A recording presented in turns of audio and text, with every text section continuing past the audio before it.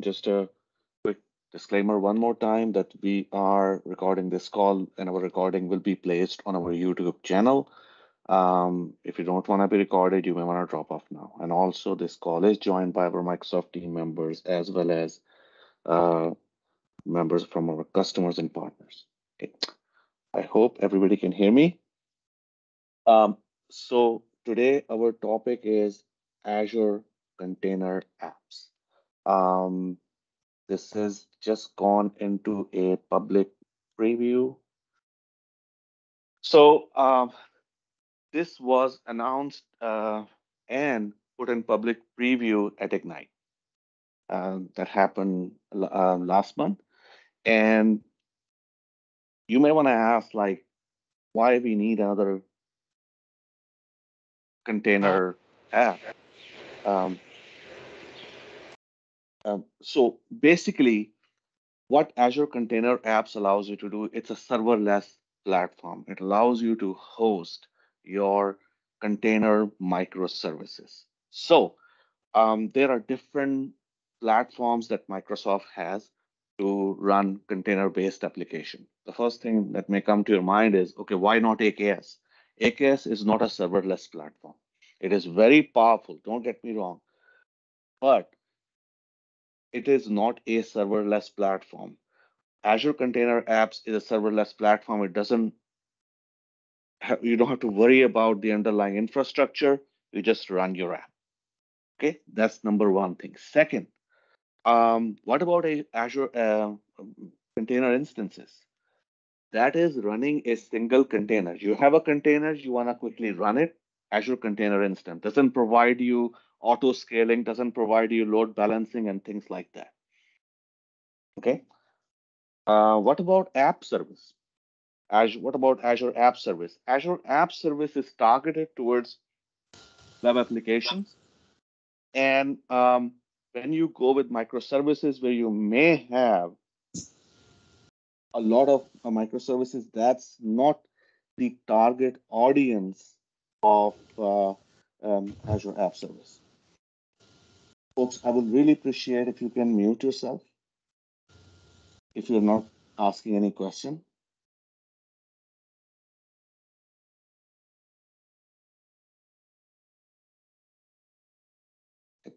So, um, so that's basically uh, kind of a differentiator and the value prop for Azure Container Apps.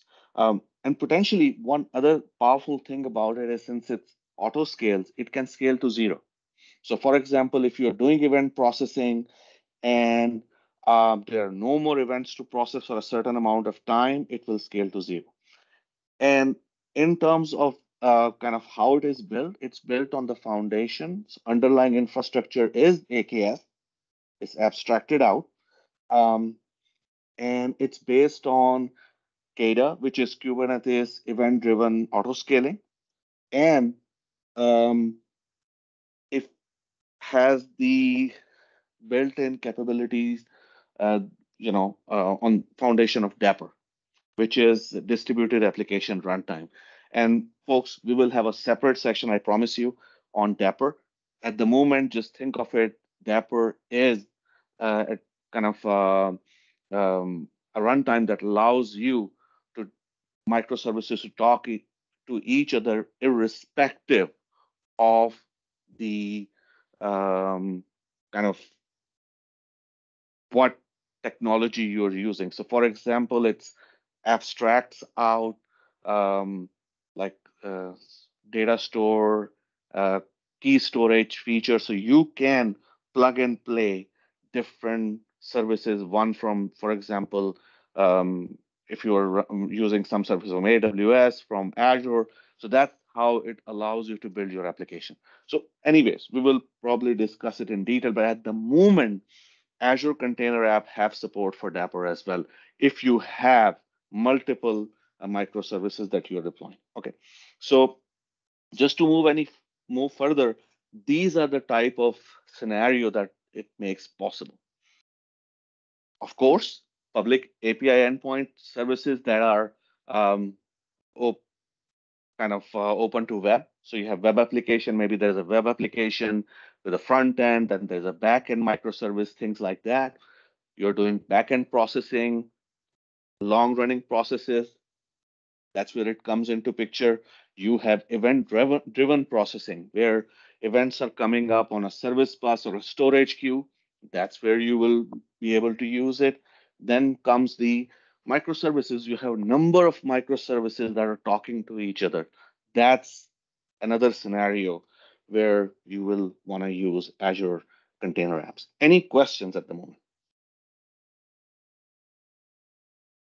Okay, so moving further, let's talk about some of the concept as it relates to um, Azure Container Apps. So first of all is an environment. Environment is nothing but a logic grouping, logical grouping of the apps. So you have um, two, three, four apps, which makes or um, you know uh, makes up uh, your entire application or set of application. That's where you want to use an environment. There is no cost for an environment, and it's just as I said, it's just a logical grouping, a collection of container apps. Okay.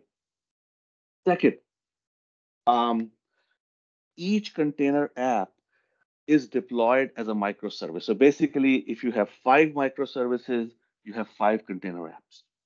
Okay, and uh, that's that's the uh, kind of that's the relationship. Next thing is each container app can have multiple containers, and all of them will live in that particular container app. Okay there is also a concept of revision. Okay, so revision is a very powerful concept. Let's say that you are constantly iterating your microservices. There are different teams. There are four microservices. There are four small micro teams, which are each working on their service and they're constantly enhancing them. So what you do is you each time you make an update and you make um, um, kind of a, a next iteration of your microservice or container apps, it creates a new revision. So think of it, environment has container apps and each uh, container app can have multiple revisions, okay? And you can control how you send traffic to those revisions. And we will look that in the demo as well in a minute. So the point is container apps, container app, apps have revisions and you can direct traffic. You can say, okay, send 20% of the load to the new one and 80% to the, or let's say 20% to Rev 2, 80% continue to go on to Rev 1. And then you can slowly change. So this is like a kind of a blue-green deployment. You can definitely do that. You can disable revisions, and we will uh, look that in the demo. But that's that's the concept, and that's built in. You don't have to do anything. It is built in as a part of container apps. Okay. So this is kind of a life cycle. Um, and as I said, once uh, a revision is no longer needed, you can disable it, and um, that's all. And that's it is like if you have ingress traffic coming in, you can redirect it. You can say 80% goes to revision one, and 20% goes to revision two. Okay, it's a demo time, so let's take a look. Um, let's get an idea like what's going on, what's all about uh, these container apps. So, okay. So first of all, I am going to go, go to a different screen. Hold on a second. Um, open a new tab. Let's start with a fresh tab so we can see what's going on. Okay, let's go to container apps. As you can see, I'm playing around with it a little bit. So I have few container apps deployed. So let's create a new container apps. Once again, we are gonna go to a GUI experience since it's easier to demo. Just keep in mind the support for CLI and PowerShell is also available. And actually there are more options there. So if you look at the CLI and Power Apps, they are they have more options in terms of what you can do. So just wanna give you a heads up. Okay, I'm gonna pick a resource group. This is my container apps resource group. And uh, I'm going to name it NZAPL demo. Okay, container app demo. This is my environment. If I want to create a new one, I can create a new environment. So this will tell me, okay, where you where we want to create it, Canada Central. So these are where that public preview is available. Otherwise, for this demo, I'm going to use the existing environment. Next is the app setting. So what I can do is if I'm just playing around with it, I can use a quick start image, you know, and it's a simple hello world container. I can go with it. But I have an image that I have already deployed in um, um, Azure Container Registry, and I am going to use that image and I'm going to name that um, the image. Okay. And this is my container registry. And uh, so this is my container image. Let me just double check. Yes, that's the image. I'm going to select a tag. So these are different tags. I'm going to select the latest tag. OS type is Linux. I don't care about the command. And these are the different sizes. So these are different sizes which are available. I'm going to pick the smallest one.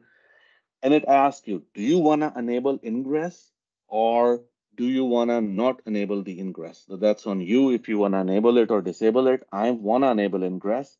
Internal only. Internal only means that only apps in your environment will be able to communicate to it. So you may have a HTTP based microservice, but only apps in your uh, container apps in your environment can talk to it. But I want something that anybody can talk to. So I'm going to call it, um, okay, let's talk on port 80. With that, that's all I want to do.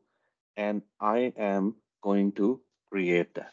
So it will start deployment and it's gonna deploy the microservice. It takes um, a minute for the microservice to deploy. And once that is deployed, we will take a look at it. So in the meantime, what it's going, what it's basically doing is it's taking that container that I have in my Azure Container Registry. It's taking that and it is using that container to deploy it into uh, my container apps. Uh, so that's that's what's um, going on. So let's see. Okay, very quick. As you can see, it did not take any time. This is deployed. So before we take a look at it, let's look at different uh, parts and pieces of it. So first of all, overview container apps. This is the application URL. And if we, uh, what, what we're going to do is um, we are going to click on that URL and as you can see, this is what I have. Say hello to Azure Power Lunch, say hello to um, container apps. And if you can, first of all, I want you to look at the URL construction. So this is the name that we gave. This is a unique name that it generates. Okay.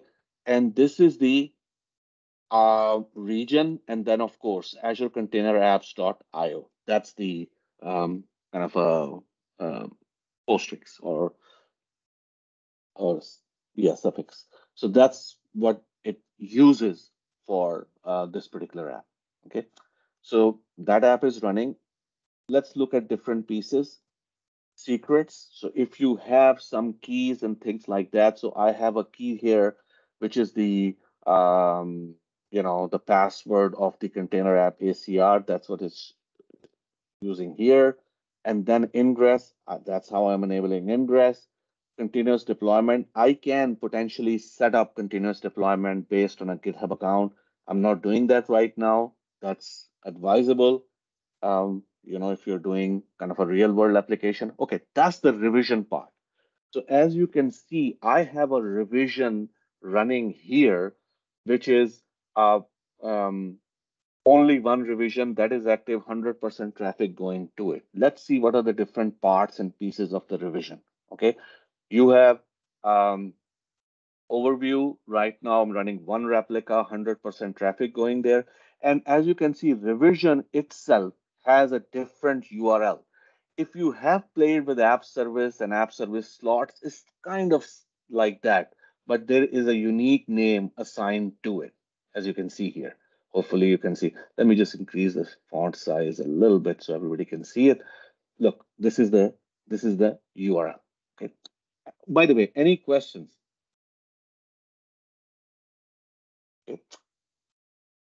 Next thing is what is the container? So you can um, basically go in and um, and by the way, every revision is immutable. You cannot change a revision. That is very important. That's why you you see here, I cannot change anything. Okay. If you wanna create a new up, make an update, you have to create a new revision. So let's say that we wanna go to the next version. Let's create a new revision. I'm gonna create a new revision. I'm gonna go in here. Um, um, and uh, basically I'm gonna call it V2 and I am going to use a new image. I'm going to use the latest three image, save it. And for scaling, I'm just going to say one replica, one to 10. That's all. And that's very important rule. Um, you can pick up different rule. You can do HTTP scaling, you can do Azure Queue-based scaling, you can do custom scaling. That's basically where KEDA comes into picture. Okay, so that's how you can scale your app. But let's not worry about it. In this scenario, we are just creating um, the new revision.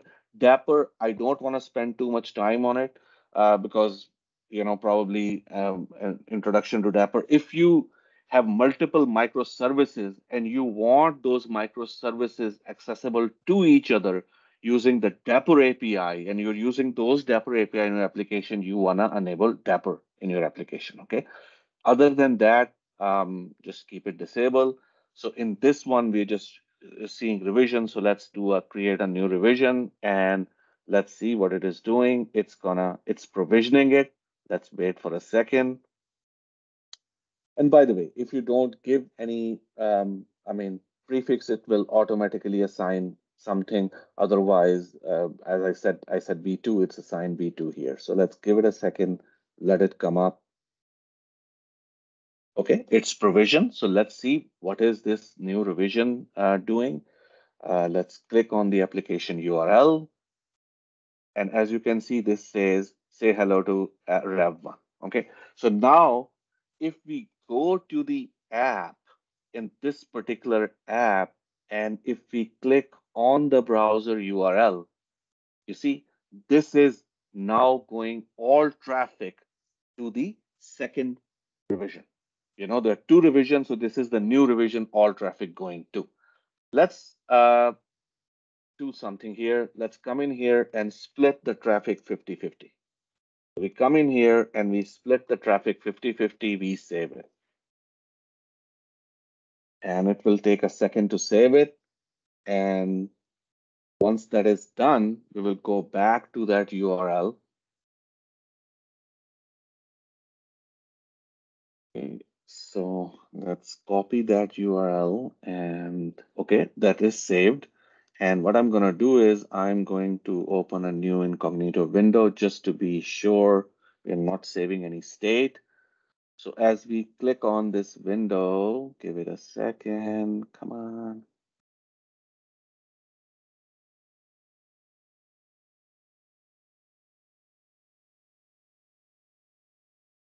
Okay, So this is basically the first revision. Let's refresh it one more time.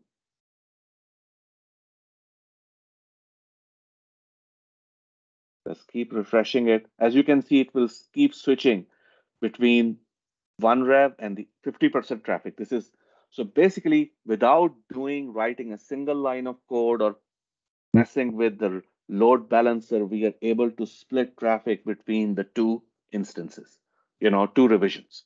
And okay, so everybody um, good with, good with that.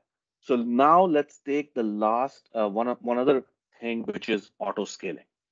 Okay, so for that example, I have created an app which is a queue reader. So basically, I am using one of the samples. This is a Microsoft image and it has a queue reader sample. Okay, I'm using that. I have deployed that app in um, in um, in uh, Azure Container Apps, and it's basically what this app does is it doesn't have a front end or anything. It's a headless app. The only thing it is doing is event driven, so it's reading a queue. This is the app queue name it reads, um, and when it there's a message arrive in a queue, it tries to process it. Look at this part. This is the auto scaling part. Okay, so what I'm doing is I'm saying the min replica is one. I could have set it to zero. In that case, it will basically drop down to zero. And I'm, then I'm creating a rule. I'm saying for app queue, if you have more than five messages, add another replica. So basically, this is as soon as if there are five messages, add another replica, add another replica. So that's how I'm asking it to auto scale. And once the that thing ends, it will scale down back to its original uh, size, the minimum replica size of one. Once again, as I said, I could have done it to zero where there is no replica running. So in, in that case, I'm not paying any money when there is no message being processed. Okay, so this is the app that I have here. So let me just close this window, go back to my container apps. This is the uh, this is the QReader demo app. I have only one revision. Give it a second. Come on. For some reason, it knows it's a demo, so it's gonna start slowing down.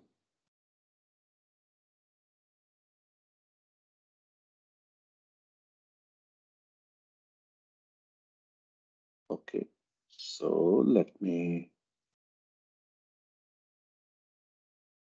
container apps.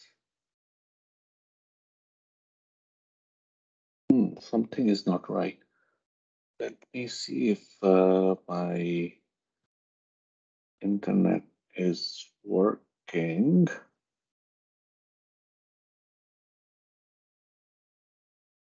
Hmm, so it's working. Why? Maybe it's a sign-in issue. Let's try this. Sign in again.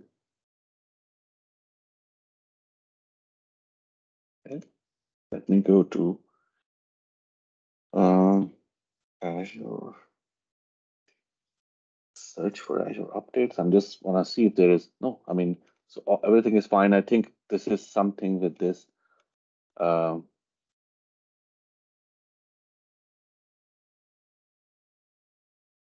for some reason. Yeah. Okay. Perfect. Uh, so we are here. So it took a second, but yes. So let's go to this revision. As you can see here, there is one replica. Okay, just keep an eye here, this part of the screen. Okay, we have one replica. And now what I'm gonna do is I'm gonna run a process which will fill the queue. So this is the um, storage queue writer that I have. And actually, let me move it off the screen here so you can see uh, the size going up. So I'm going to run this. So this process is running. This is filling up the queue. Okay. And I'm going to refresh the screen. And in a kind of a minute, you will see that it will start increasing the number of replica. Because what's happening is um, messages are being flooded into the queue and with a single instance, it will not be able to process those messages. And as you can see now, we are already to four replicas. Okay, so this is basically this auto scaling rule that is coming into picture and saying, okay, you know, there are so many messages, I need to scale up to process those messages. And that's how um, it's um, kind of uh, doing the processing. So all of it being done um, with without with just some kind of uh, what we call um, through configuration without you know, kind of a removing, adding any infrastructure. So once again, one, if you can, I mean, a number of things you can do here, you can do in AKS as well. AKS have great power, but at the same time, a lot of knobs to manage. In here, you have, I mean, if you have, if you're starting with microservices, that is a good start because you can do a lot of stuff um, without worrying about the underlying infrastructure, without managing those knobs. So as you can see here, this is running and it's up to 10 now. So what I'm going to do is I'm going to kill that process behind the scene. I killed it. Okay. And after some time, it will come back to one. And by the way, the, there's a cooling off period, so it may not happen during the session, but it will come down. Okay. So let's go back to the slide deck. Any questions at the moment?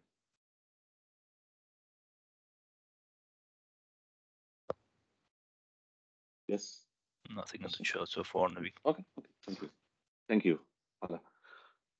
Okay. So in regards to Dapr, as I said, we will definitely um, cover it in the future, some of the future session. You have a lot of capabilities um, as I said before, Dapr distributed application runtime abstract are out, how you do state management, how you do observability, secrets, and things like that. So you can plug and play services. So the same way, it kind of it has full support. It allows you to uh, talk to microservices in that environment over MTLS, you know, support for MTLS, things like that. And by the way, I promise you, we will do a different session on specifically on Dapr. This is a very important topic. Okay. This is kind of a high level environment. If you're running an app, that's how you have the Dapr sidecar running. And that's is kind of uh, doing all the all the support for Dapr. And finally, there at the moment there is built-in support available in API management to import container app services. So, you know, just to be aware. And with that, this is kind of um, some um, links to useful resources. So that's all I have. By the way, I have slides in there and um, which are um, kind of a covered Dapr as well as KEDA. So please take a look at that. There are uh, you know, in the appendix, I have a KEDA primer. And by the way, uh, one of the, my Microsoft colleagues put that tag and I just kind of borrowed it. So, uh, you know, so that uh, I'm just reusing some content, but there is content on KEDA as well as Dapr in this slide deck. So I will um, upload the slide deck with our presentation just as we do. So, you know, please uh, feel free to take a look at it and, um, you know, um, I hope you find useful. Any other question? I know we are right on time. Okay, so um, there are no questions. Thank you very much, and thank you for joining the Azure Power Lunch. And hope to see everybody uh, next week for another session of Azure Power Lunch. Have a wonderful weekend. Stay safe, folks.